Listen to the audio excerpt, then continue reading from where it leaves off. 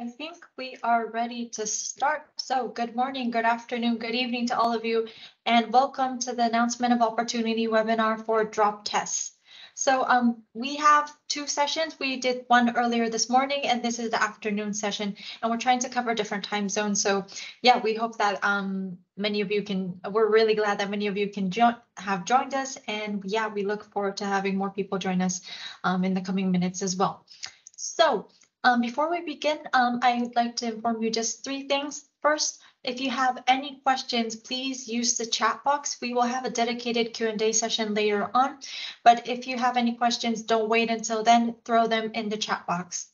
And second, please answer our questionnaire that we will be putting in the chat box later on. My colleague Wenbin will be very active in the chat, providing you with useful links, but also he'll be putting up a link um, of our questionnaire form. And we would really like to hear your feedback on the webinars we deliver. So please make sure to answer that before you leave. And last but not least, if you are on social media, please use the hashtag access to Space for All and DropTES to help us promote this webinar. We are active on Twitter, LinkedIn, Facebook, Instagram at UNOOSA. So today's agenda looks like this. I will start off by explaining about the introduction to the Access to Space for All Initiative and DropTES. After that, I will hand the floor over to our partner ZARM, um, to Thorben Könemann, who will be giving us an introduction to ZARM, the Bremen Drop Tower, the GraviTower Bremen Pro, and what you can do through DropTES. And after that, we'll be going into the details of the announcement of opportunity and application form. And after that, as I said earlier, we will be having a dedicated time for Q&A. So with this, I'd like to go into the explanation of our initiative. So basically at UNOOSA, we are doing a lot of different capacity building activities really to help um, the countries and regions build an ecosystem for the development of space capabilities but um, Access to Space for All is focused on space technology. And the goal of the initiative is to provide research and orbital opportunities to UN member states um, to access space and to ensure that the benefits of space are accessible to all. And you can see our value propositions on the left-hand side. So by joining the initiative, we are providing the possibility of developing hands-on capabilities from A to Z.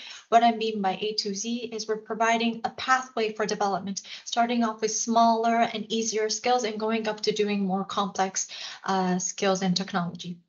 Second, um, through the initiative, we provide cutting edge skills for jobs and other opportunities. The information and the technology that the people acquire in our initiative can really connect to new opportunities and jobs and anything um, for the future.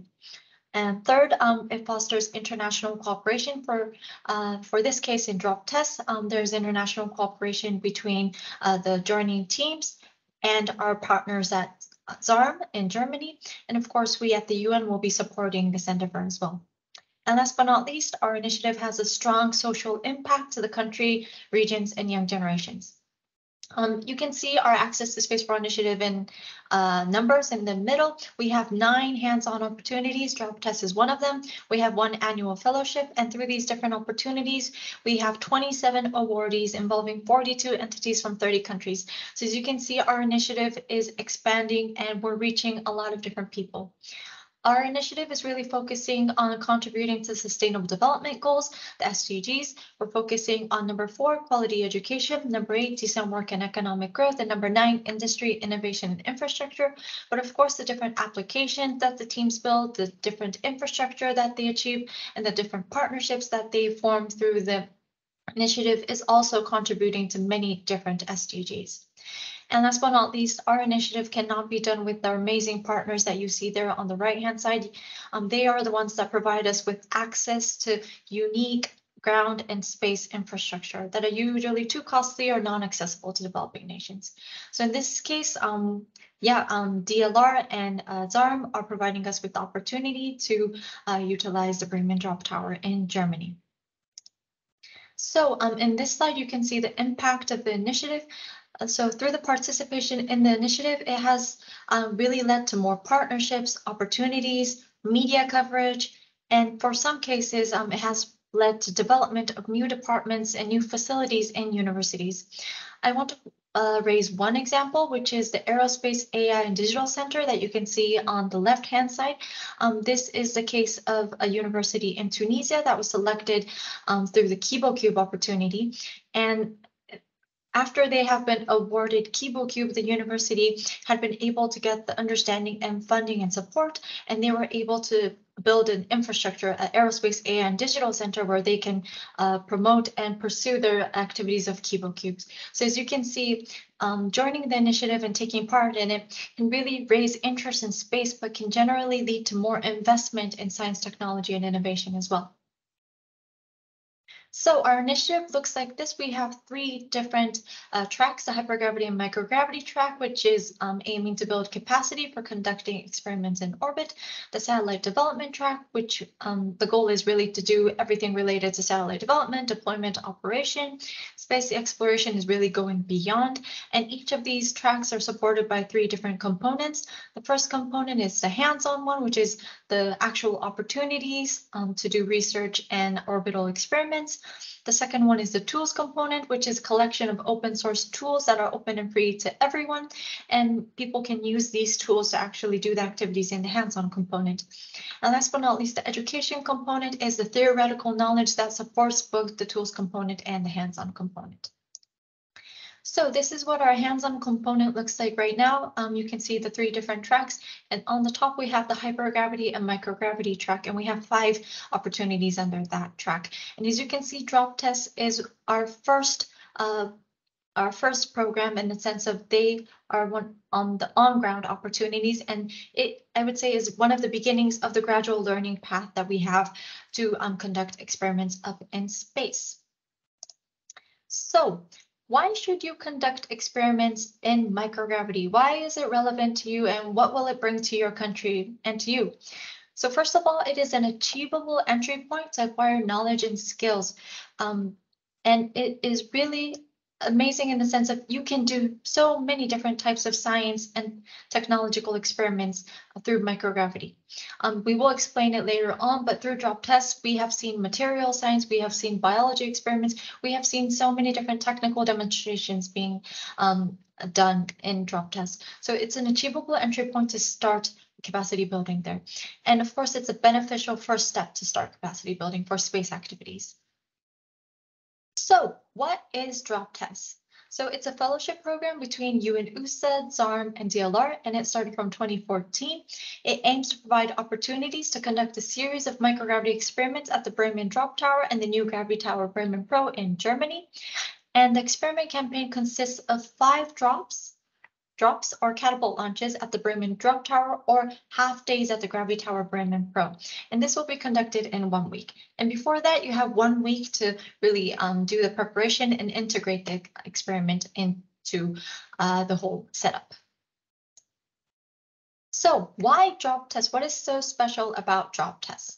First of all, it provides you with the access to the state-of-the-art and unique ground infrastructure.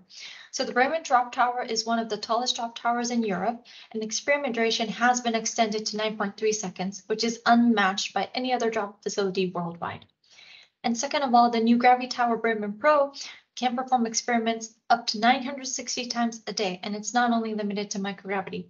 Um, for this case, for DropTES, we're only limiting to microgravity, but as a facility itself, it can do much more.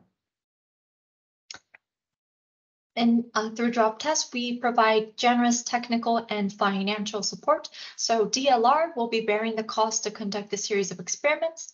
ZARM will be providing technical support during the whole campaign, along with on-site apartment for the students.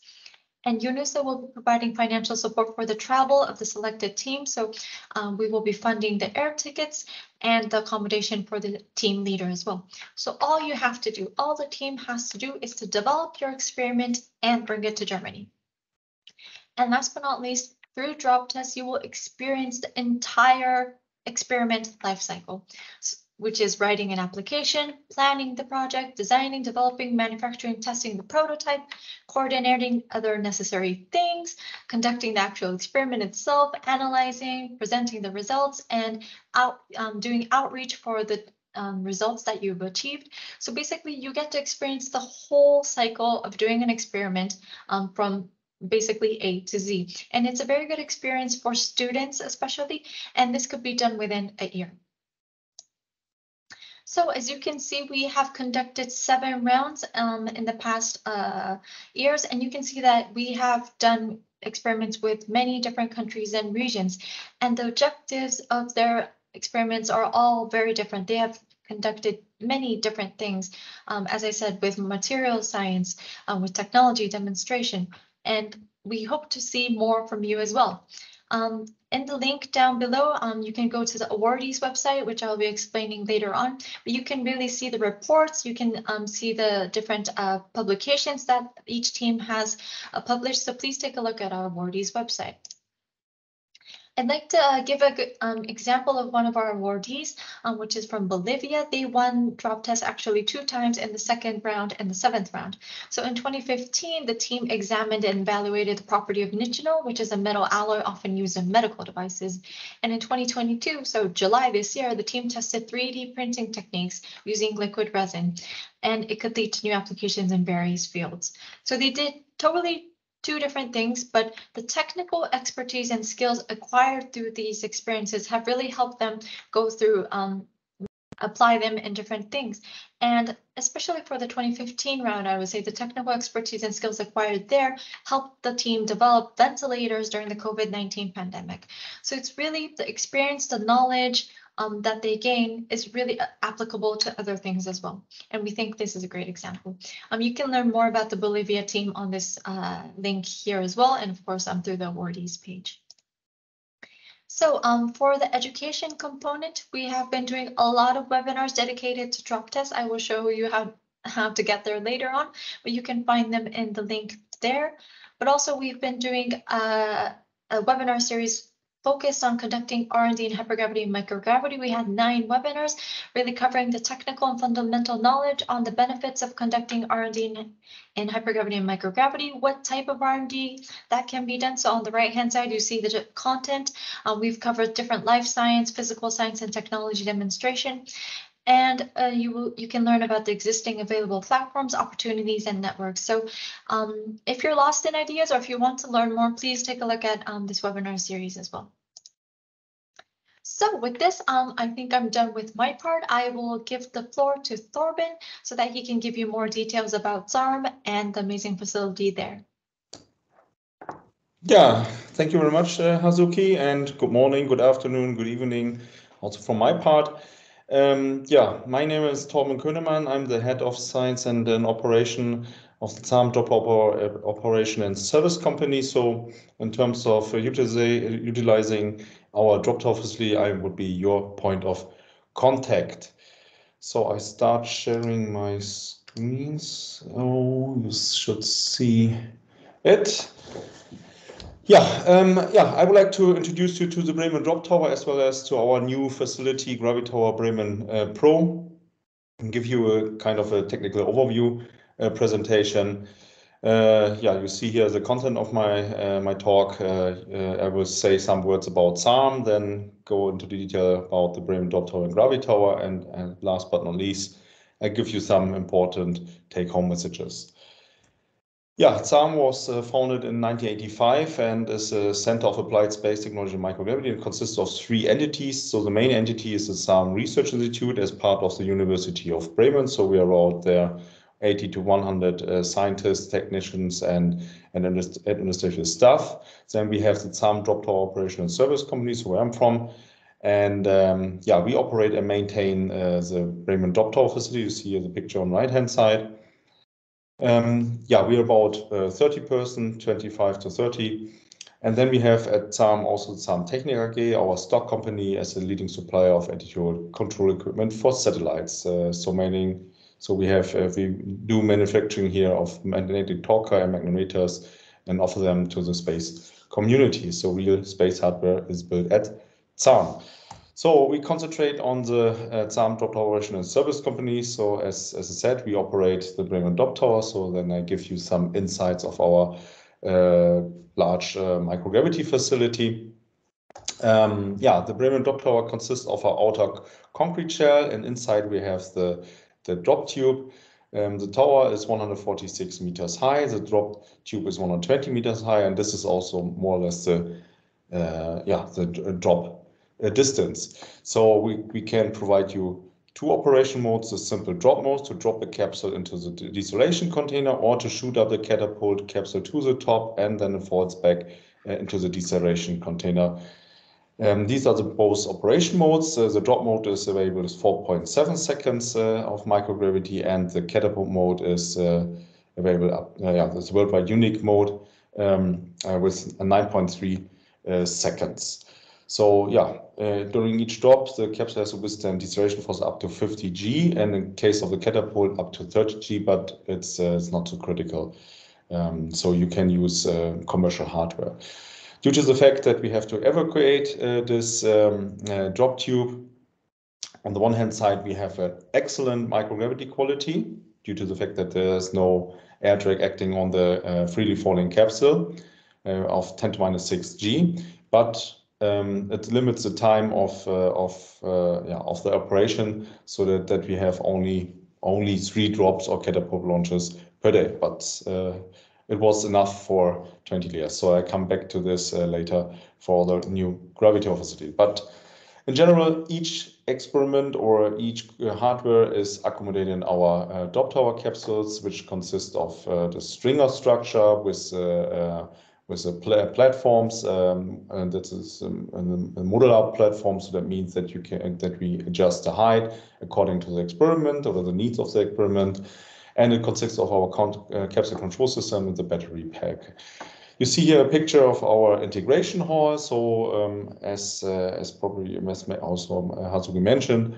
Um, uh, the uh, the the uh, drop top tower experience will start with an integration week so that uh, we will come arrive, then we will do the integration, the mechanical integration as well as electronic integration together with you here on site. We can provide you tools, instruments, and so on. And if necessary, we have, we have air-conditioned laboratories and dark laboratories, uh, e.g. for uh, laser operation.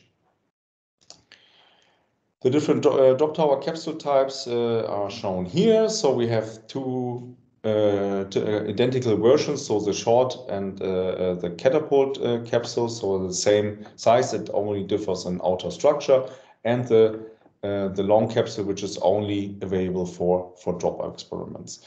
So they differs in the payload volume, but uh, you see here uh, we have very high payload masses. Usually the uh, experiments will not exceed that as I mentioned before, so each capsule is equipped with a capsule control system, the CCS, and, uh, and the battery pack. You see here a picture of our National Instruments PXI system. So we are able to control your experiment, but you can also use your own control computer in the payload area. We have an interface board here with uh, different, different analog and digital in and outputs. You see another one, so with SMA plugs or uh, uh, sub-D connectors. Um, your experiment uh, can be operated with 24 volt DC during free fall, uh, so there's no cable anymore at the at the capsule. And once we are uh, connected to the to the docking station or uh, to the to, to the here, as you can see here at the integration area, so then you, we we charge the batteries with 20 20 7.6 volt DC. Yeah, you have uh, 1,500 watts uh, of power available once uh, if we only use the batteries. So additional batteries can be implemented if required. So you see here the four connector types, and then uh, each connector has two power lines, so that we have in total eight power lines. Yeah, um, yeah, I would like to show you a short video so that you get some uh, impressions about the Bremen Drop Tower.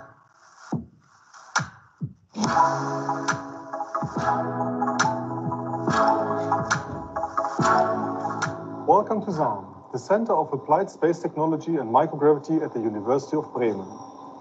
Here we are operating the Bremen Drop Tower, a large microgravity lab using the principle of free fall for experiments under conditions of near weightlessness. But how do we use free fall for microgravity research? What would happen if I had scales stuck to my feet and jumped from a diving platform into a swimming pool? it would show almost zero kilograms because I'm in free fall. The only weight shown on the scales would be the result of the air drag. We could observe exactly the same reaction of the scales if we were jumping on a trampoline. In this case, the scales would show almost zero weight all the way from going up to falling down again on the trampoline. And now we will see where the microgravity experiments take place.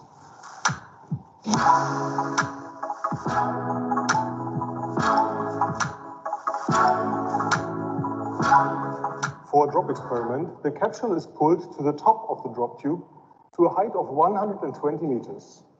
From there drops for almost five seconds before it lands in a container filled with tiny polystyrene balls, like these. The most extraordinary feature of the Bremen Drop Tower is the catapult system. It allows us to shoot the experiment from the bottom of the tower up to its top, from where it falls down again into the deceleration container. This way, instead of 110 meters for a simple drop, we can use a distance of 220 meters for free fall, providing a microgravity duration of almost 10 seconds, unmatched by any other drop facility worldwide. Another important feature is the fact that the free fall takes place in a vacuum. It takes these vacuum pumps one and a half hours for pumping out 1,700 cubic meters of air out of the drop tube. Thanks to this procedure, we can eliminate the air resistance almost completely and achieve a very high quality of microgravity. The experiment takes place in only one millionth of Earth gravity. Teams from all over the world and from all kinds of scientific fields come to Bremen to use the drop tower for their experiments. And the demand for experiment time is high. This is why we build another drop facility using a completely new technology which allows us to carry out hundreds of experiments every day.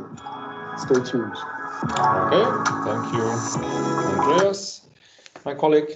So as as you mentioned, so stay tuned. So uh, for the Gravitower, I will come in the main next so uh, in some uh, some minutes. Um, I will like give you some facts and figures about the Bremen Drop Tower. Yeah, we started in 1990 with operation. A lot of microgravity experiments have taken place at some so far.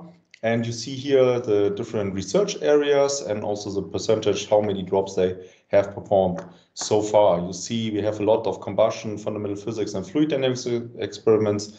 Um, the reason is that uh, um, we have internal ZARM groups, uh, they can use uh, our facility very often and uh, from external groups, yeah, you have to do a campaign uh, staying for one, uh, for two or three weeks at, at ZARM. And so if, if you have if you're on site, so then you have more or less a flat rate utilization. Yeah, then um, astrophysics uh, is also a hot topic at our facilities. Then we have some material sciences experiments. So probably the time, uh, if you melt something, is not enough. Uh, so the uh, as as well as uh, for biological experiments, they need often also longer microgravity, but but fast processes can be investigated here at ZARM as well. And then, uh, yeah, we do dedicated hardware tests for space components uh, in our drop tower to prepare them for, for the space missions and students programs. Yeah, uh, DropTES is one of them and uh, chemistry as well. Yeah, students programs, uh, just to mention, yeah, you are aware about DropTES, you, you're right in uh, right in this, this experience series. Um, then we have the Petri, so a similar program by ESA Academy, so over uh, for ESA member states, uh, members from ESA member states. And then we are also involved in REXUS, BEXUS, rocket and balloon experiments uh, from Kiruna, Sweden, also available for uh, students. Yeah, as I mentioned, uh, mission preparation. So the Drop Tower could be a stepping stone into into space. Yeah, so that means you can test daily test uh, and with commercial hardware your your your prototype your yeah you you realize this, uh, some uh, an easy experiment and then based on this uh, achievements you develop uh, more complex experiments. So then you can go the step further to a longer microgravity period and also to validate your yeah phenomenon or what else you have in mind and then also prepare your your experiment for a space operation uh, was the ultimate target the ISS. So at the drop tower, you can we can do yeah the integration testing, the preparation for for another flight opportunity, and as well as the qualification. And this was uh, experiments and and technology uh, or hardware accelerometers or deployment tests uh, of of uh, yeah antennas and and so on. Yeah, the same is uh, valid for the new kids on the block. So as a as I to, uh, tell uh, um, um, um uh, tell them um, name them. so we have here the new ones from the US, the Blue Origin and Up Aerospace, Virgin Galactic. Yeah, you might heard heard about it. Or the European one, PLD Space, and uh, Super Express, the commercial activities from our colleagues from SSC. So there there are a lot of things ongoing, but the drop tower can be yeah, uh, an easy entry step uh, to do uh, or to pre prepare experiments for, for those flight opportunities. As yeah, space exploration and space missions uh, um, are, uh, especially the space exploration is a hot topic right now. Uh, I have here a sample of the, or I made a photo of the of the soil sample here that was exhibited at the ISC in Paris this year. So it's a soil sample from Astro Ryugu, uh, which came back uh, by the Hayabusa 2 mission or the uh, Hayabusa 2 um, uh, spacecraft. So this was a very successful mission. So you see, yeah, it is feasible to bring some soil samples back to Earth, but it, a lot of preparation was uh, required and uh, yeah and this sample horn and and other uh, subsystems of this mission were tested at the Bremen Drop Tower yeah, several years ago.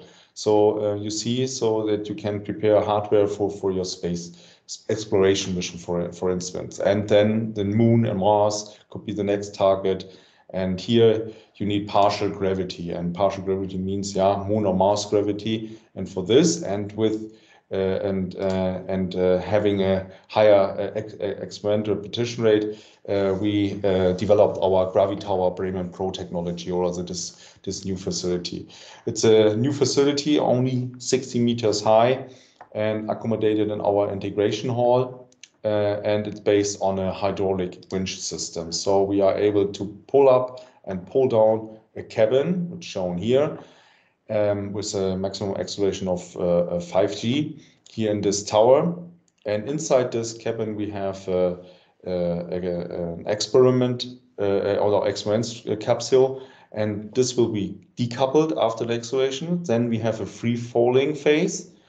And then the experiments will fall down. And then we be decoupled or coupled both again. So it's the same effect if an, if an elevator moves you up when you stand in the and then with a higher acceleration then it stops a while so then you move up from the floor and uh, then the cabin of this elevator only just uh, controls the distance to to uh, to you and and the walls. So then you have a freely falling phase and this is uh, the principle of this uh, new uh, facility and another advantage is that, yeah, one advantage is that you can do this very often. Yeah, you can see you can often use an elevator and there's no need for a vacuum.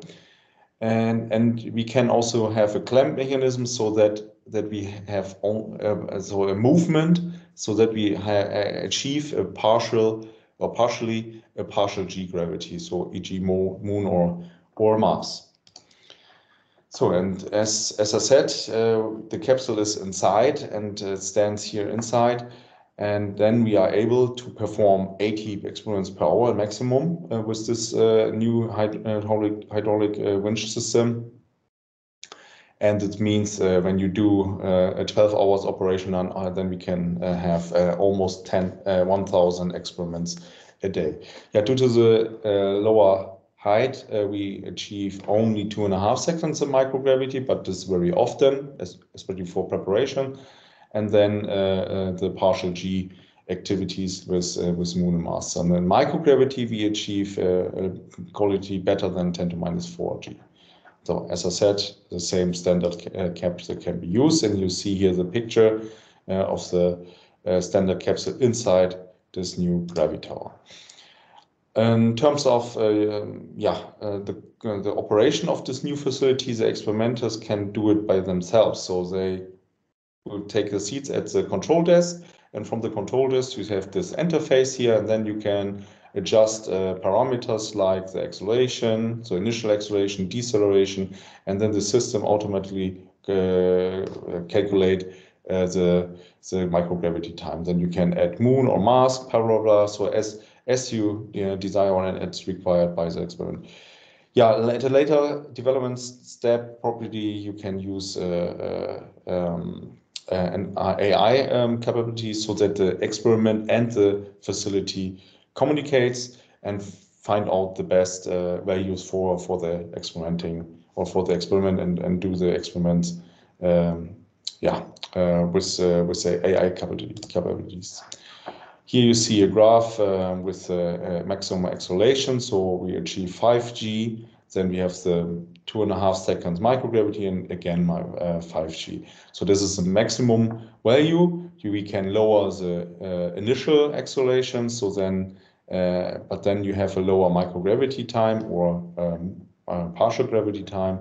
And, and then so you can adjust it each kinetic parameters as, as desired yeah, so again, it talked too much. So then you see a video about the new facility.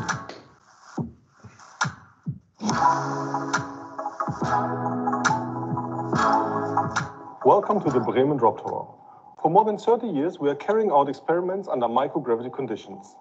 And from now on, we are doing this not only in the Bremen Drop Tower, which offers the world's longest microgravity duration, but also in the new GraviTower, which offers the world's highest repetition rate.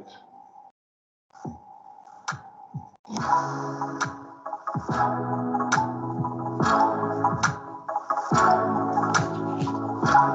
the drop tower, the gravity tower is making use of the principle of a vertical parabola. Like on a trampoline, an object is already in free flight after an initial acceleration, during its fall up and when it's falling down again. So, how does this work? The gravity tower uses an airtight slider, which is accelerated against gravity and air drag by this hydraulic winch. Therefore, this system does not require a vacuum chamber. The GraviTower can perform up to 960 experimental flights each day, and thus is able to meet the increased demand of scientific research. Scientific experiments require an excellent quality of weightlessness. Therefore, already during the initial acceleration, the experiment is mechanically decoupled from the slider in all but the vertical axis. During microgravity time, the experiment is fully decoupled and free floating inside the slider. In this test flight, you can see the gentle initial acceleration, the floating in weightlessness, and the soft deceleration. This high quality and repeatable boundary conditions are essential for scientific research.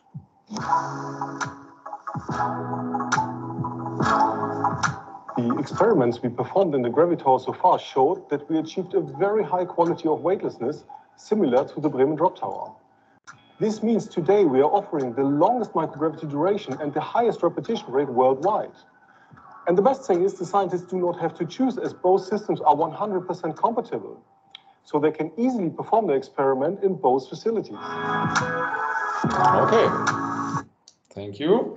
Yeah, as, uh, as you could hear, so um, yeah, you can decide what kind of uh, facility you would like to use and what is the best uh, for your experiment. And also during DropTES, uh, you can do it. Yeah, so um, uh, that means that we can start probably with a, with a gravity tower and you can do a lot of uh, test experiments to, to prepare your, your experiment for a longer microgravity period, for instance. So, and also figure out probably some, some issues, uh, what could happen in microgravity so that you can switch between both facilities also during um, the flight week with five drops or catapult launches, uh, which is uh, the equivalent of of five half days. So you can do three half days and two fly uh, two catapult launches, and you can mix it as as uh, as desired. Yeah, we can have then for your experiment uh, 9.3 seconds of weightlessness uh, with the catapult, and this is very high quality. Then with the gravity tower, yeah, a thousand up to thousands uh, experiments a day, and the partial gravity option. The partial gravity option is is is at the moment under uh, implement uh, implementation. So um, in January we have uh, the first uh, tests uh, flights, and or we finalize the test with test flights this operation mode. And uh, yeah, the, the payload user guides will be updated then in February or late uh, late January, so that you can see, okay, this this uh, this operation mode is not implemented in the, our payload user guide. So therefore, we decided that only microgravity experiments uh, uh, can take place uh, through the DropTES 2023 call. so please keep this in mind. Yeah and we can use the identical, identical uh, payload uh, capsules and have with, with our capsule high payload capacities. Yeah, you say you see it here. Um, yeah, a lot of uh, uh, payload uh, masses are uh, can can be accommodated, and we have the height from almost one meter in the standard capsule. Um, then another important thing is that we have nominal pressure inside it, especially when we do the uh, uh, Bremen drop tower experiments. So with uh, with in drop or catapult launches, then the capsule is uh, closed by a cover, and this uh, this uh, cover is pressure tight, so that we have nominal pressure of one bar around one bar inside the capsule and outside the vacuum. So with the vent line system of the capsule, you can have vacuum or to, you can release gases out of your experiments. There are a lot of things uh, possible. With uh, our uh, capsule control system, we can do the experiment control, but as I mentioned, you can also use your own control PC or what else what you require for, for controlling your experiments. We can do the triggering of your experiment, especially a microgravity trigger. And we have a data acquisition system so that we can uh, collect data from acceleration, temperature, pressure, and what else, what is required. As I mentioned, the batteries, 24 volt DC, keep this in mind. And uh, uh, we can provide you uh, equipment, especially here a new camera system. We have the Phantom Miro 321 uh, system available, a full HD camera system with almost 1,500 uh, uh, frames per second and an internal storage so that you can do a lot of experiments and have not to download it uh, between flights, especially for the uh, gravity tower operation. Then if you need a heating or cooling circuit, we, we can add it uh, as, as desired. Yeah, so you see here, we give you a lot of technical support and we yeah we integrate together your experiment we perform together the uh, the experiments with you and if something happened in between, so we are we are on your side, and we yeah are happy then to solve any issues uh, together with you. But before that, it's very very important. Read our payload users guide. Yeah, you you will find it on our uh, website. Uh, uh, then go to the drop tower and experiment support, or before you have to click to, to our English website. Then you can download it. Um, and please read it very, very carefully. Yeah, so there are all information included. If you need a kind of an appetizer um, of some other uh, some other videos about uh, ZARM and what's going on at the drop tower, but I would like to mention go to playlist and there's a playlist uh, of uh, former microgravity experiments which taking place at the Bremen drop tower so that if you need some further ideas or uh, insights, uh, what does what does mean to do experiments in microgravity, you will uh, get there some some uh, new inputs probably. Yeah, as uh, Hazuki also showed in the presentation, also take a look at uh, what have done so far in the former DropTES rounds. And yeah, a lot of different experiments are possible. I would like to mark here a special one because there is no need that you uh, uh, implement your experiments in our drop tower capsule. So we can also do some test experiments in, in this way uh, that here is, is, whoops, sorry. Um, here's a deorbiting sail.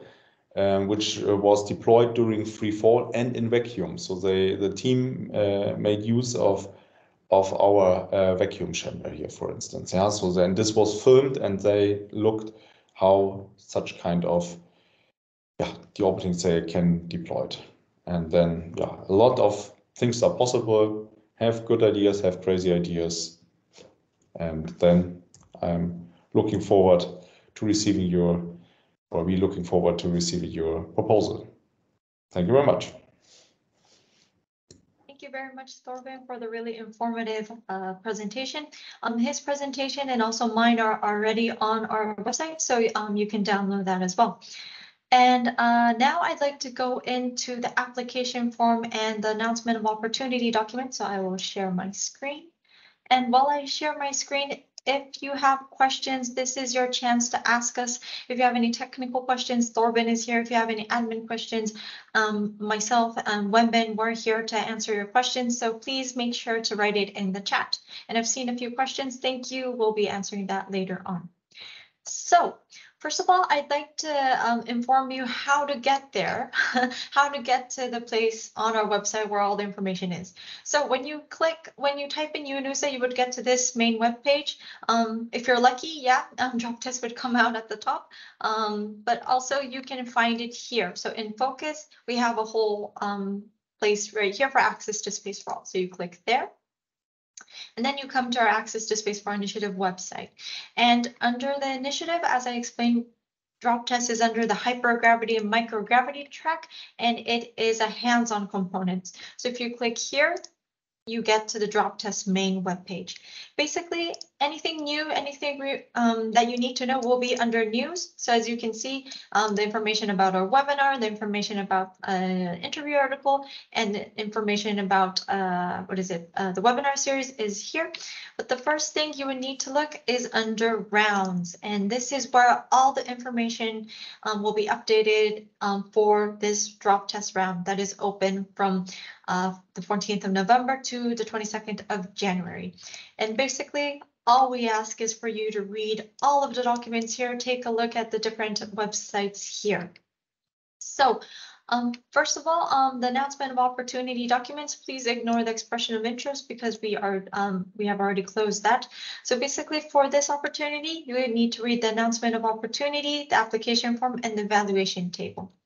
And the reference materials are basically what Thorben has already explained, the user's guide for the Bremen Drop Tower. You can also go to the uh, general information of the Bremen Drop Tower website. So this is a ZARM website, which gives you more information about the different things you can do. And uh, this is the DropTES webinar website that I had in one of my initial slides. So we've been doing a few DropTES webinars in the past, so you can take a look at them. Uh, basically, I really recommend one webinar, which is called The Experiences from the Past Winners of DropTES. Um, this was done in 2020, but I still feel that the information is very relevant as we invited uh, many of our past awardees from DropTES, so 2014, 2015, 2016. You can see the many different awardees here and they presented about their experience, um, what they did through DropTES and how they have gained after that. So please take a look at this webinar. I think it's uh, really relevant for all of you.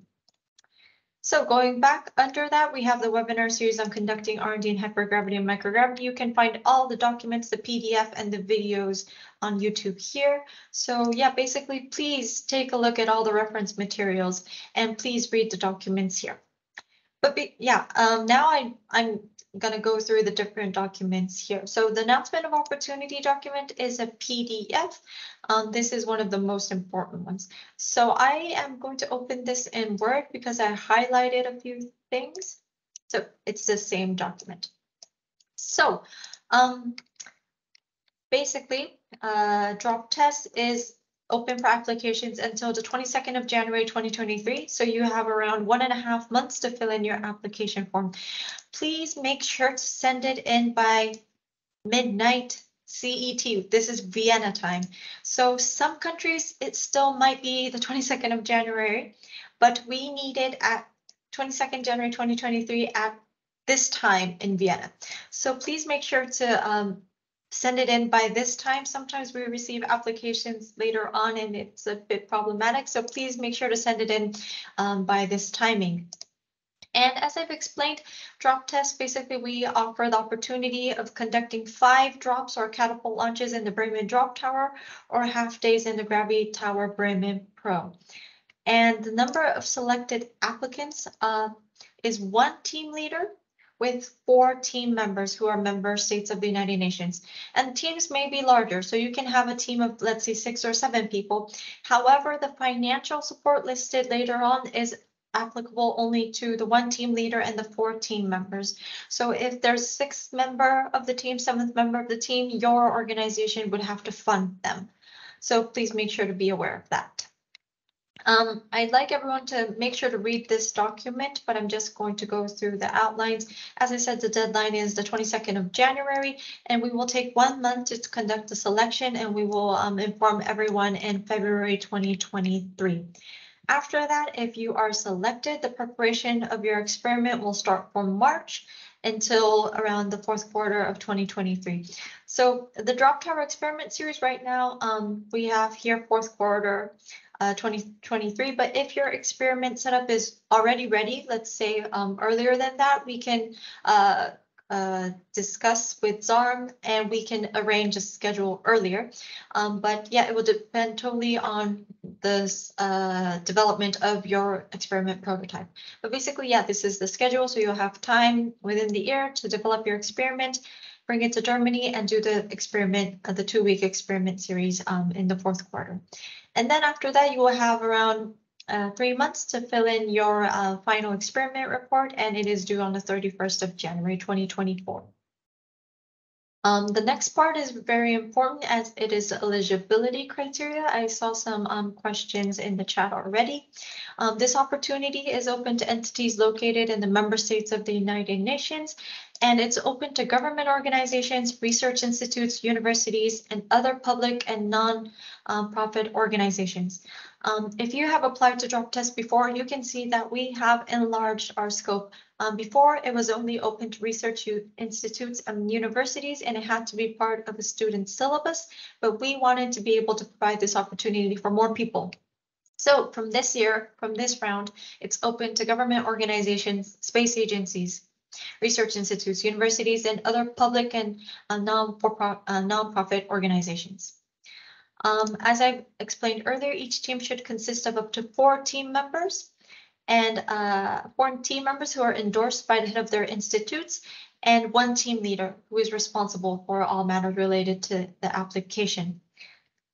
Um, and I'd also like to mention that changes to the composition of the team are not allowed after the application has been submitted.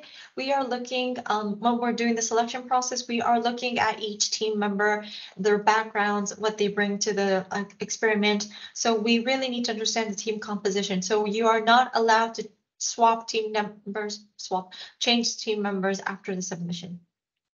Um, if there's any urgent issues or uh, let's say health issues later on after you're selected, of course, we can discuss about that. But uh, in general, in general, I would say that uh, you cannot change the team members. Um, here, applicants must be uh, able to show that they have their respective entity support through a letter of endorsement. So um, in the application form, which I'll be showing to you later, um, you would need the signs and the stamps from their organization, but you would also need a letter of endorsement. We would we really need to see that your organization, your institute is supporting you um, to be part of DropTES. The next page is also very important. It is the selection criteria. We will be looking at all of these aspects here.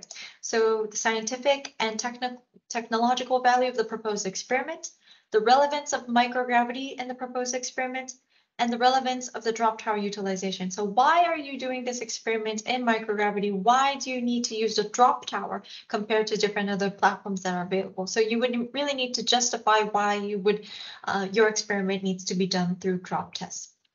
Um, of course, the general feasibility of the proposed experiments are something that we will be looking at. So the setup, the procedures, the schedule that you have in mind, um, next, the organization realizing the planned research project. So we would need to understand the team composition, as I've explained earlier.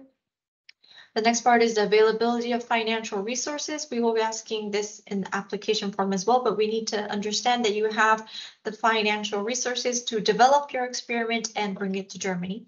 As I've said, the other parts of, um, uh, like, let's say, uh, the transportation of your team. So uh, for you to come to um, Bremen, for you to uh, stay there for two weeks, the accommodation, we got that covered. But for you to build the prototype and bring it to Bremen. We don't have that part covered, so we need to understand that you have the financial resources to do that. Um, next, the overall presentation of the experiment proposal. Of course, that's important. The next one, the communication and dissemination plan. This is um, DropTES is a capacity building opportunity, and we don't want that knowledge, that experience to just stay within the five team members. We want you to share this experience with your country, with the young generation, with the many students in your university, within your institute. And we want everyone to be more interested in space and microgravity experimentation, science, technology, and innovation. So we would really like to see how you're going to communicate the results, how you're going to disseminate what you learned through this experience. So we will be valuing this as well. The next one is inclusiveness at the United Nations. In all of our programs, we are uh, aiming for a 50-50 gender balance. So um, if there is um, many proposals from different teams with, let's say, an only man team and there's a team with a 50-50 uh, men and women balance, of course, we would choose the latter. So um, please um, consider the inclusiveness of your team as well. And last but not least, we will be uh, checking the link between your project and the Sustainable Development Goals, what your project can do to contribute to the Sustainable Development Goals. So um, in this sense, I want to go back to our website here. So um, we're doing that uh, announcement of opportunity document, but here you see the evaluation table. And when you when you click that, you will go to an Excel spreadsheet that looks like this. And here you can see the different weight we have to put into the different criteria that I've just explained. So of course, there's a difference. There's 15% and 5%. Of course, we'll be valuing all of them, but you can have a general idea of what we're going to value. And of course, the scientific and technical value, the relevance to microgravity, and the utilization of drop tower are very important. And of course, the feasibility but we will be looking at all of the things I've mentioned earlier. So yeah, take a look at this evaluation table to get an understanding of, yeah, how we're going to score things. And going back, sorry, to uh, this, the selection criteria, I also want to uh, emphasize the sustainable development goals. So when you look up um, on the internet, you just type in SDGs, UN, or I think with SDGs, you would get here to the United Nations website on the Sustainable Development Goals. And um, down here, you can see the 17 goals, as you can see here. And let's say I click on this one for uh, an example. Basically, each goal has targets and indicators that support the realization of these goals. So basically, um, please look at the targets and the indicators. Maybe the indicators are a bit too much in the level, but please at least look at the target level and connect that with your project. So what can your project do to contribute to one of these targets, one of these indicators? And um, as you know, um, with their 17 sustainable development goals, and there are 169 targets. So there's a lot that you need to cover, but of course, uh, please find something that's relevant and show us the link because we value that a lot. Okay, sorry, going back, the requirements for the experimentation are basically please read the user's guides that Thorben had explained earlier. Um, these are really crucial for you to understand what can be implemented, what you can do at the Bremen Drop Tower and the GraviTower Bremen Pro. So please take a look at this. The schedule, I think, is uh, relatively written uh, clear and as written here. So February, we select you, and after that, from March until the fourth quarter, you will have time to prepare. Um, we will be working with you intensively, so you will be preparing an experiment progress report. You will share that with ZARM, and we will be consulting with you to finalize, uh, yeah, what you will actually do um, in Bremen. And after that, you will come to Bremen, one week of experiment integration and one week of the actual experiments. And in January, you will submit the final experiment report. Um, going back to the financial support, I've explained this earlier as well. So basically, uh, the drops, the catapult launches, these experiment opportunities are uh, funded by DLR. Uh, UNOOSA will be basically paying for your trip to uh, from your country to Bremen and back. We will also be paying for the accommodation of the team leader. And D, uh, sorry, ZARM will be uh, paying, well, they will be providing the team, the four uh, students uh, accommodation near uh, the Bremen uh, drop tower facility. So basically, as I said, all you need to do is develop your experiment and bring it to Germany. Um, besides that, I think the uh, announcement of opportunity form is very clear. So I will move on to the announcement, uh, sorry, the application form itself. So this is the application form. Please read it carefully. I will just jot through um, some places that I really like to emphasize. I think this is basic information. Um, let us know what your title is, then uh, what your goal is. This is the part I was talking about the certificate. So um, you would need to have it signed by the project coordinator, which is the team leader here. And this part approved by the applying organization. So if this is a project by University A, you would need to have the project coordinator, your team leader sign your information, but also you would need to have it signed by the head of University A. So please make sure to keep that in consideration because I understand sometimes in some agencies, some organization, it takes a while for you to get the sign of the head of the organization. But we need this and we need the endorsement letter as well. So please consider the time that you need to get these documents ready. And if this is an application from, let's say, two universities, universities A and B, you would need the sign of University B as well. So any organization that's applying you would need to have the sign of the heads. So please consider that um, in your timing when you fill in the application form. And if it's University A and B, you would need to include information, not only the signs, but the information of the head of applying organizations in the next section as well. After that, we go into the team composition, project coordinator. This is only one person. And after that, uh, we have the team members. So please copy and paste um, and add sections for as many team members as you have. And please note that all team members must belong to applying organizations that are eligible. So if it's a joint organization of University A and B, all the team members have to be from organization uh, from University A and B, from Space Agency A and B. Please make sure that the team members and the head of agencies, the head, uh, the parts that I was explaining above, all link to each other. And if you have external support, so let's say you're working with a specific company to utilize their testing facility, or you have an advisor from uh, a different university, um, you can include them here in external support. So um, please don't put them in the team because they're not part of the team. If you're having external support, especially from uh, organizations that are not eligible, so like companies, please make sure to put them here under external support. Okay, after that, it's project uh, proposal abstract. I think that's clear.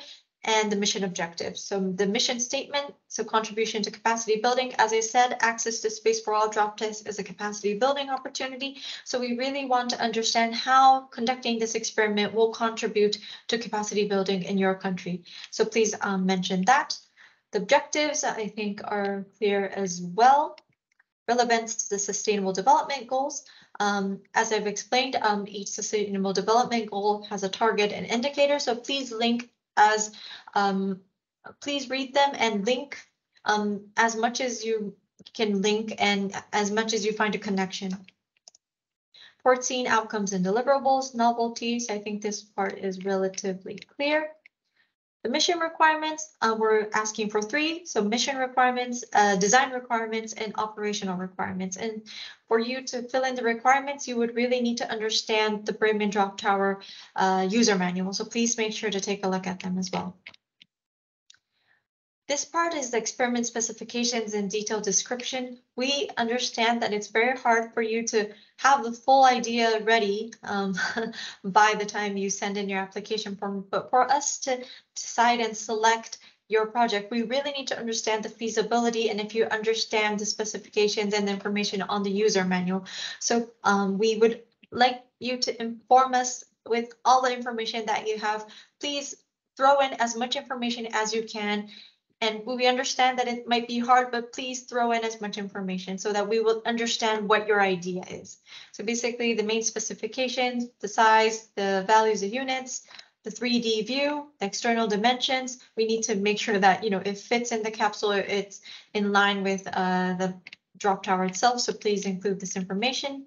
We would also like to understand the system block diagram and the subsystems that you're using, the technical heritage. From here, we want to understand how you're going to assemble, integrate, and test. So if you're working uh, with other uh, institutes and using their assembly facilities or testing facilities, please include that information. Uh, 6.2 is verification. So uh, we would uh, like to understand how you're going to verify your different mission, design, and operational requirements. So please make sure to include that information. Um, seven is schedule. So we have two points here. It's development schedule under 7.1 is more before, uh, more on the things you do before coming to Bremen. So when you are developing your experiment prototype. And the experiment schedule in 7.2 is rather what you're going to do in Bremen. So um, please identify um, the difference between these schedules and yeah, um, give us as much information as you can. For the budget, um, as I've explained, we'd like to understand the cost and if you have secured the budget and um, the budget plan. Um, nine is transportation to Germany. So um, of course you can bring it in your luggage or you can maybe ship it do whatever, but you need to bring it to Germany and we need to understand that you know how to do that. And let's say if you're shipping, you would need to consider the transport and custom arrangements and the different, uh, yeah, information that you would need to do your research on. So please make sure to um, uh, do your research and uh, find a way to bring it safely to Germany. Uh, number 10 is feasibility and risk analysis. So um, let us know that you've considered the feasibility and risks that um, may occur and um, let us know that you know how to overcome them. Um, number 11 is communications and dissemination plan. As I've explained uh, earlier, um, this is a capacity building opportunity that we would like you to disseminate the information and really inspire the young generations, inspire everyone around you in your country and region. So um, please provide us with a detailed plan of what you're planning to do. Let's say a social media campaign, or you're going to have workshops with uh, schools, or uh, do uh, events, um, please let us know what you have planned so that you can share the amazing experience that you're going to have through DropTES to everyone. Supporting documents, if you have any, please list them here. And the last part is abbreviations and references. Yes, um, it's 19 pages. We know that it's a lot of information, but uh, you still have one and a half months to fill that in. So um, yeah, uh, please uh, start working on it now. I know there's Christmas in between, so I really recommend that you start working on it now. Um, yeah, so going back, I think I've covered the different documents that you need to go through and different reference materials. So with this, um, I will stop sharing my screen and we can go into the Q&A. So with this, I think I've covered everything. And I think we can um, move on to the Q&A session of our uh, of our webinar. So I will stop sharing and I'm hoping that we have some questions coming in from the crowd. Okay, so um, let's start with the first one. Um, if my colleague participated, if my colleagues participated and won the grant four years ago, can we still apply for the grant? Yes, um, we, uh, as you can see, Bolivia won the opportunity two times. So um, we're not discriminating in the sense of if you've done it once, we're not going to say you won't get it again. So um, yeah, um, there is a possibility that um, yeah, we will choose you. But of course, um, it will really depend on your application form, what you're trying to do. So the selection is um, quite fair in that sense. So yeah, that is a yes. Can we levitate the test product inside the capsule? If yes, how? Okay, I think I'll give this um, to Thorben. Yeah, I guess this is a question to me. Um, yes, uh, uh, probably I'm, I'm a little bit interested what you have in mind, but in principle it's feasible. So we had also some experiments uh, where we released something inside the capsule so that there was a freely falling object inside the capsule uh, this is fe feasible. For instance, there was a deployment test of a rover, uh, which should then, um, yeah, within some seconds uh, reach the sur soil surface, yeah, to mimic a landing of a of a rover on an asteroid, for instance. Yeah, there are there are concepts feasible, uh, uh, yeah, um, yeah, to do such uh, such things. Okay, thank you very much. Um, sorry, my screen froze a bit. I'm looking for the next question. We are a team from Tunisia. Um, are we allowed to consult with experts from a private aerospace company? Should that be included in- in the application form? Thank you for the question. So, um, as I've explained, um, earlier, um, they are not eligible in the sense of they are a company, but they can be your external, um, supporters. So in the application form, I think I showed you, I can show it again. I.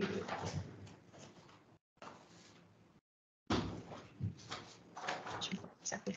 So they, since they're not eligible, they cannot be on your team, but you can include them under external support. So if you're working with the aerospace company, um, please include the information here, but don't put them under the team member or under project coordinator because these people have to be eligible and uh, at the moment we haven't opened the eligibility criteria to uh, companies. Okay, um, going back. The next question is, do you have interplanetary network activities during the program? Interplanetary networks. Um, I'm, can, maybe Ahmed, can you? Uh, yeah, Uh, and I see Webin is asking to elaborate. So I have some communication students at my channel and I'm asking about their activities. Um, I am not quite sure what you mean by interplanetary communication. If you can elaborate a bit, that would be great. Are there any other questions? Um, I know there was a lot of information for all of you, but, and everything is on the website. You can find everything on the documents, but this is actually your chance to ask Thorben any technical um, things related um, to the Bremen Drop Tower and GraviTower Bremen Pro. Okay, um, I see that Ahmed has elaborated. So communication in space. Communication in space. Um, DropTES is a ground opportunity. So um, I'm I'm a bit confused on what you mean by communication in space.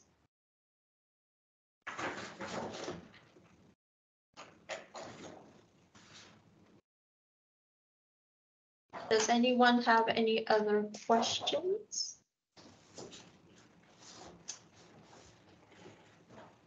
Yeah, okay. Uh, so, okay, I guess uh, Hazuki, he, he would like to consider some communications uh, between, yeah, linking, I don't know, activities in, in space, but no, no, no, this this this uh, program is not dedicated to, to such uh, activities. Yeah, so you have to consider about an experiment which should be done in, in a microgravity environment but you can make use of uh, of two free falling objects inside the capsule and, and also to mimic or to, to show uh, communication uh, possibilities but there's no direct uh, uh, activities in the, in the sense that you connect to us to space yeah or uh, an in-space cooperation. So that you can do it in microgravity. So you should you should consider whether microgravity or even vacuum, yeah, which uh, uh, which is uh, required.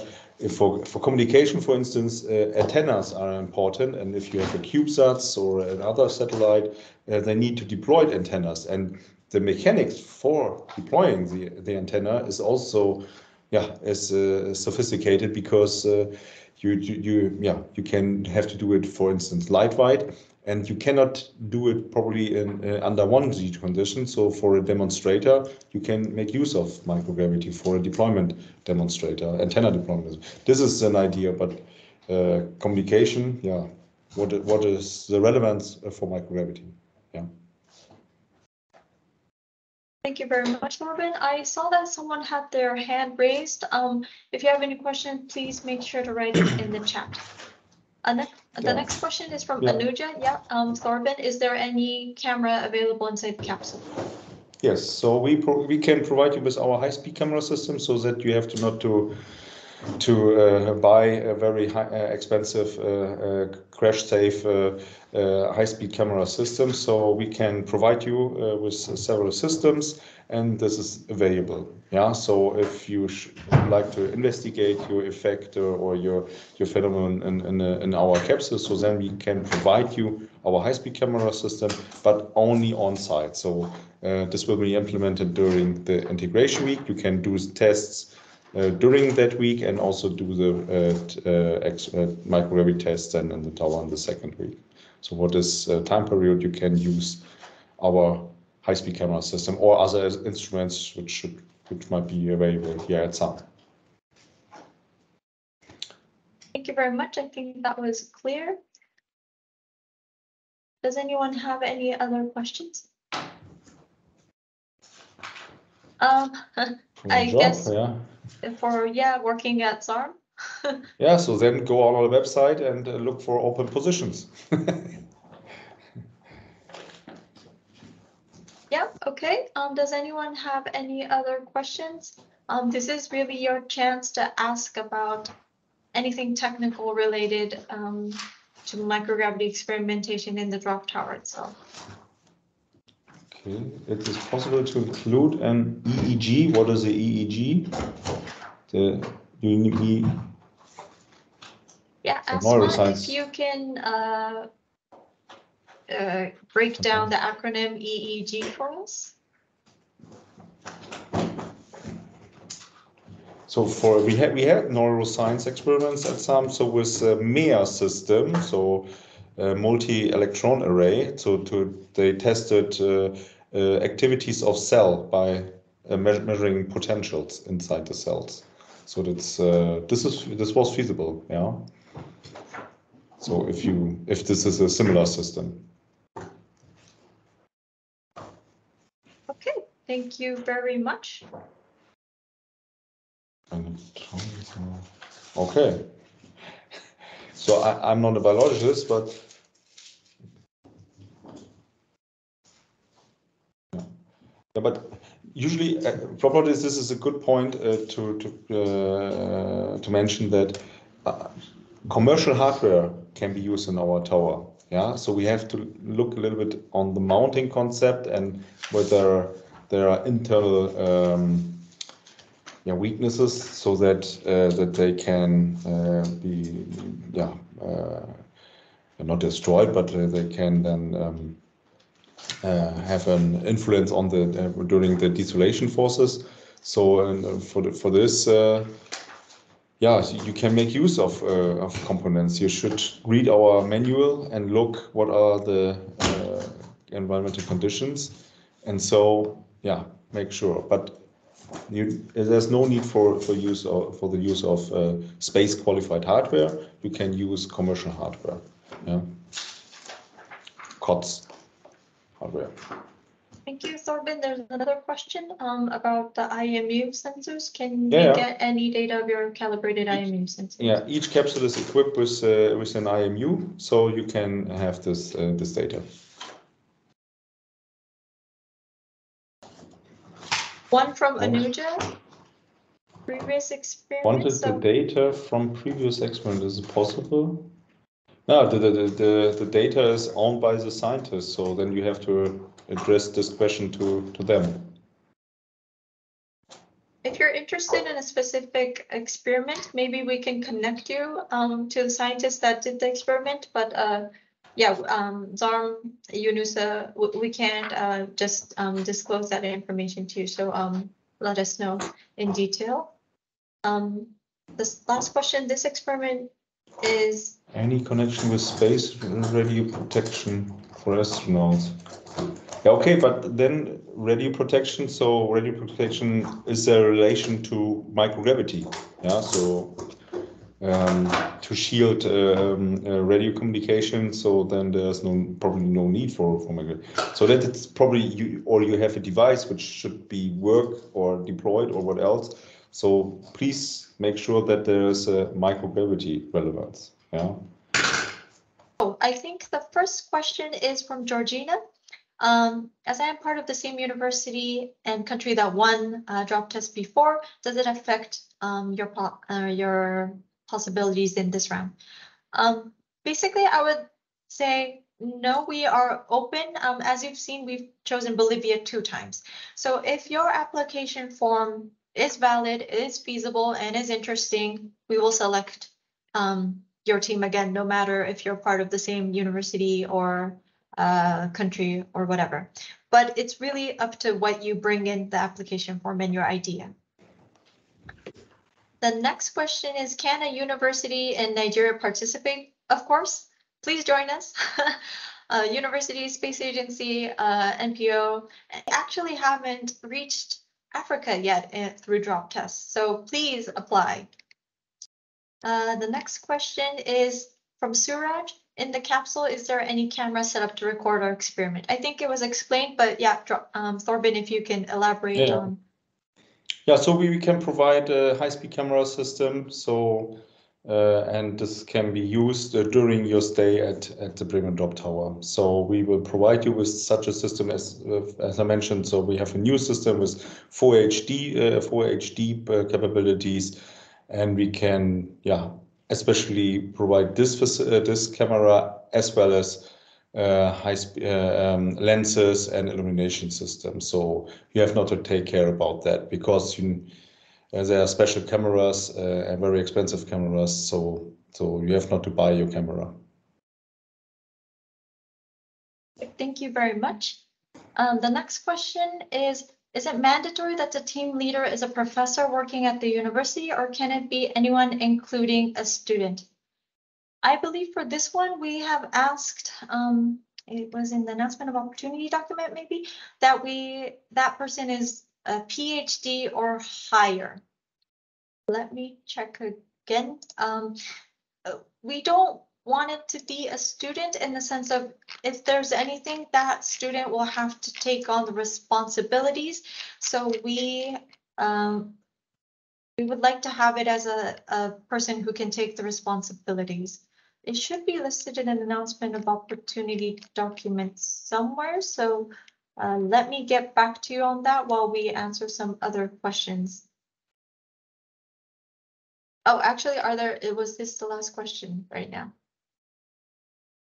Okay, um, does anyone have any other questions? Um, if you have any technical questions, this is your time to ask Thorben because he's here right now. If you have any admin questions, you can ask us. Let me just confirm the uh, team leader part. Uh, we have another question. How? Uh, so how is the reimbursement of the travel cost organized? So basically, um, for the travel, uh, it's not uh, that uh, actually UNOOSA, we will be issuing the flight tickets, we will be issuing the travel. So there is no cost on your side that you need to pay up first and we reimburse. Basically, we work directly with you, um, um, asking of your schedule, asking where you live, where, where you want to fly from, and we arrange from there. So um, there's no cost in the beginning that um, you would need to uh, uh, spend in the beginning. Yeah. Uh, I think for one, the hotel for the team leader, I think that needs to be paid by that person up hand, and then we reimburse. But for the travel, there there should be no uh, reimbursing afterwards, in the sense of we provide you with tickets already in the first place. Does anyone have any other questions? Hazuki, uh, in terms of the hotel, so uh, it, uh, it can be also invoiced, yeah. So there's a chance. Yeah, yeah, yeah, exactly. That's that's also true. So um, regarding that part, we will of course be in connection. We will be talking to you know deciding the uh, concrete schedule and details. So yeah, um, it, depends on really the team and how we uh, discuss and arrange. I see another question. Okay, there's a lot more coming in. Uh, from Liliana, what kind of accelerometer do you have? Yeah, um, we have a very precise one. We have uh, IMA EMU, so it's uh, um, um, a, a, fiber optical uh, uh, system. So it's very precise. Um, uh, you will find any information in our payload user guide, so then you can also download the data sheet. And uh, and in the next uh, payload user guide, I also implement uh, some newer accelerometers. So we have uh, we have from ASC IMU IMU seven uh, systems. Um, this, are also industrial grade um, yeah IMUs, so that can be used. But please look in the payload user guide, then there will you find any information. Thank you very much. I think that was clear. Um, another question is from Suraj. If we use some glass material as uh, as equipment for the experiment, is there any possibility of any breakage of the equipment? Yeah, if, if, if you plan to use glass, so there's there it might be the case that it can uh, break. So it depends a little bit. So, uh, for instance, we had experiments with flask from glass. So flask uh, um, and they survived each drop. So the, the scientist has also some doubts that uh, the special flask um, will not survive the, the impact.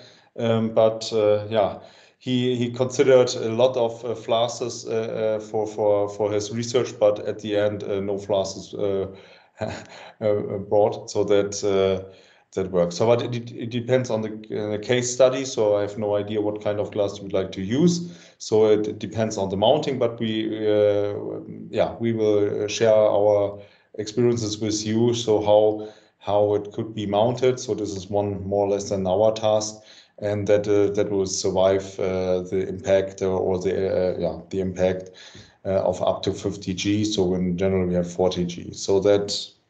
Um, yeah, it's uh, more or less, I would say. And if it's not the case, so then you can consider you can bring more spare parts with you, so that we for each drop we insert uh, a new a new glass uh, uh, piece or what else uh, what is required. Thank you very much. I think that was clear as well. Uh, the next question uh, is from Georgina. In the case that you don't win, uh, will you give us feedback to try again? Yes, um, we will. We will try to give you feedback. Um, of course, as I showed you, we have a clear eligibility uh, and selection criteria, so we can give you feedback on uh, what we thought you could work on uh, for the future rounds. Um, for DropTES, basically these years we've been of course, there was COVID, but we've been doing one round per year. So um, even if you don't get it um, next year in the 2020-30, uh, 2023 uh, round, uh, you, you always have time to apply to the next one. I also want to answer the question earlier about the team leader. I, I will throw it in the chat. So in the applica uh, sorry, in the announcement of opportunity document, it says um, the text that I've typed in there. So each team must be supported by a team leader whose role will be to supervise the work of the team members. So we didn't specify this time the level of this the level uh, if it, if that person needs to be a professor or a PhD or anything. But I would suggest um, it would be someone that the university or the organization trusts um, as someone that can take care of the student team or or the uh, team members itself. So um, actually, in this case, I guess we leave it up to your organization. But um, yeah, so in that sense, we don't have a specific um, level. Um, but um, in, in these terms, that since that person has to take responsibilities, I would say um, it would be better if it's not a student. But even if it's a student, that's not a no-go. So it's up to your organization to decide. Are there any other questions?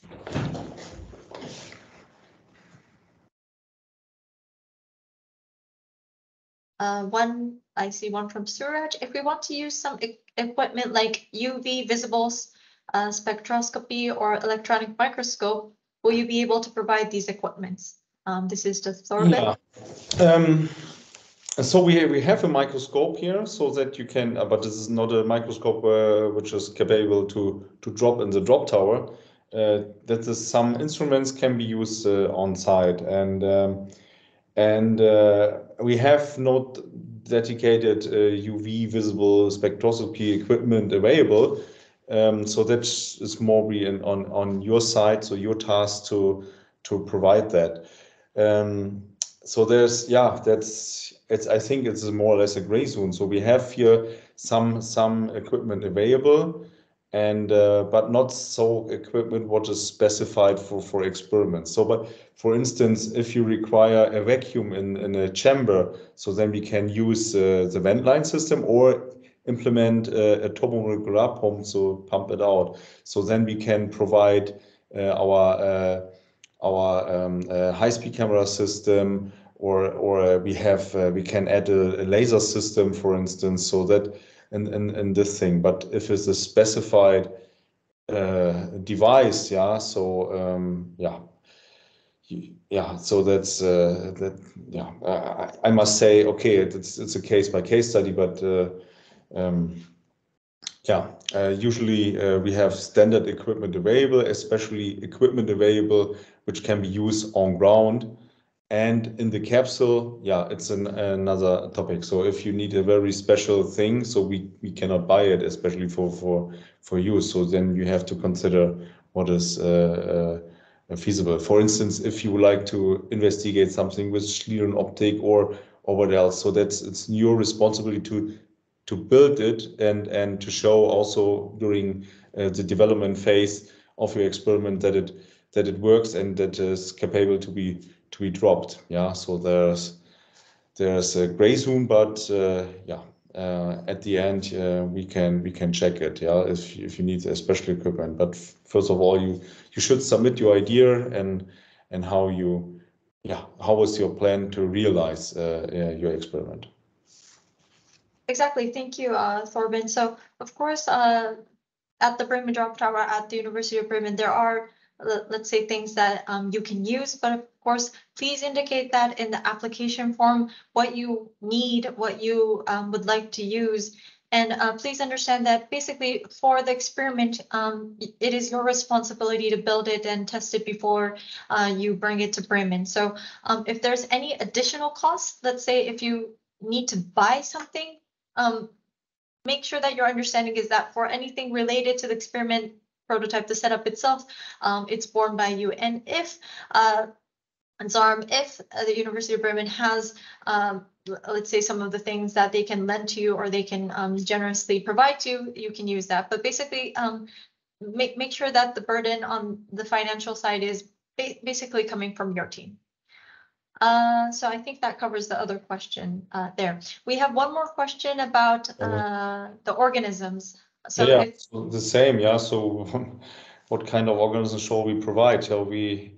Um, that's a little bit tricky. Yeah. So um, if if if you have some doubts to uh, enter Germany with uh, organisms, so then I would recommend that you identify probably some cooperation partners who who can provide uh, those uh, organisms. So we here at ZARM not have not that biological department so that there's uh, plenty of different organisms. So we have some uh, organisms here, cyanobacteria, for instance, but ne, so um, but usually as again, it's uh, in your responsibility a little bit more, yeah, with uh, what kind of organism you like to use and and what else and and at the end, yeah, we can we can discuss. Yeah, I have I have some or we, I know a lot of scientists uh, in the microgravity field or or some other colleagues yeah, uh, from the biological uh, field.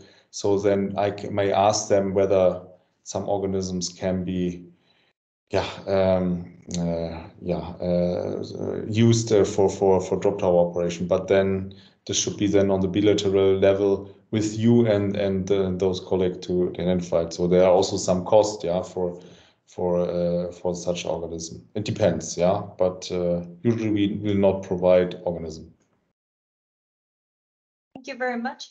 Uh, we have another question about some chemicals. So how do we carry the chemicals yeah uh, with us in the flight. Um, that's exactly what we're asking for in the application form. Um, it was section um, where it said transportation to Germany. You would have to do your research on how you want to bring uh, what you need for the experiment setup. Of course, if you have any questions, um, please feel free to email us. But uh, basically, um, it is your responsibility to do the research on how to bring it to Germany or how to, let's say, buy it um, in Germany after you've arrived. So um, please do your research on um, the transportation and uh, yeah, how to bring things to Germany. Yeah, and in terms of chemicals, so uh, with standard ones we can provide. Yeah, but if you have some special ones, uh, yeah, then it should be discussed. So basically put everything in the application form, all Yeah. the information in the application form, so we can decide on the feasibility um, of the project and if, um, let's say if it takes time or if it's um, costly or, uh, so we can understand, uh, yeah, what your idea is and how feasible it is.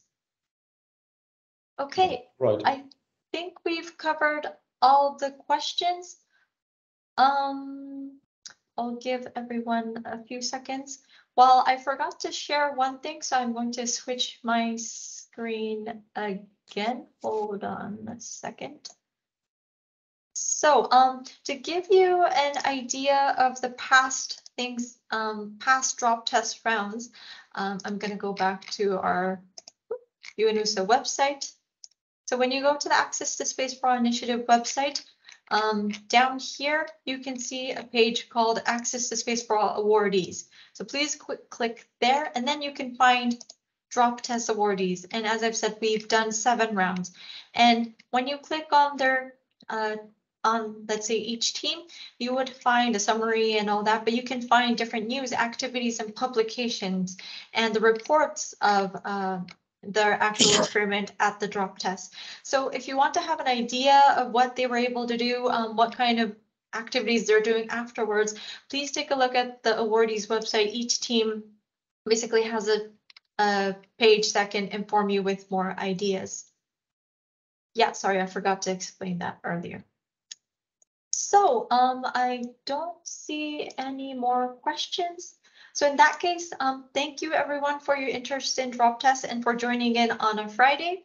Uh, please um, answer our questionnaire form before you leave. Um, we would really like to provide you with better webinars, so uh, please answer that um, um, for us. And basically, as we said, uh, the deadline is the 22nd of January. You still have a bit of time to uh, put together an application form. Uh, we are really looking forward to new ideas, especially from different countries and regions that haven't um, done drop tests before. So thank you again um, to everyone who's here. Thank you again to Thorben, um, to our partners at ZARM, and of course DLR for providing us with this opportunity. And yeah, we hope to receive a lot of applications from you. So thank you and have a nice day, everyone. Yeah, thank you. Bye bye.